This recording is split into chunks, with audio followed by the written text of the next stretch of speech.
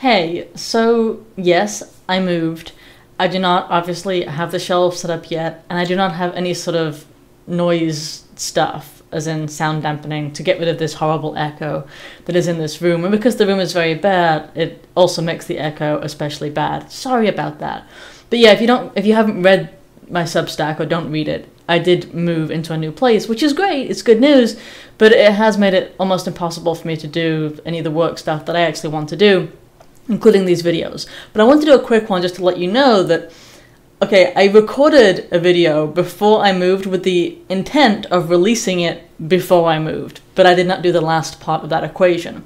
So I'm going to release a video later today that I meant to release about two weeks ago. So let's just kind of a heads up because I realized how confusing it would be that, you know, I had this Substack thing about how I'd moved into a new place and then I, yeah, and then I had the video in the old place. Like, does the old place look exactly the same as the new place? Because if so, that would be kind of odd.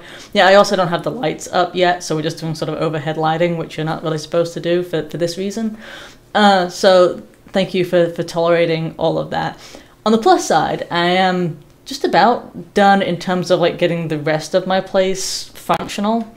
Uh, so that's good, and I will presumably fairly soon have the rest of the video stuff done, including and especially the sound thing. Because I don't know about you, but I can I'm a lot more tolerant of video issues than I am of sound issues. I just cannot stand when you're watching a video and there's some massive sound issue, whereas I I, I can deal with video discrepancies a lot easier. So I will work on prioritizing that. I believe there's the um, panels that are arriving later today.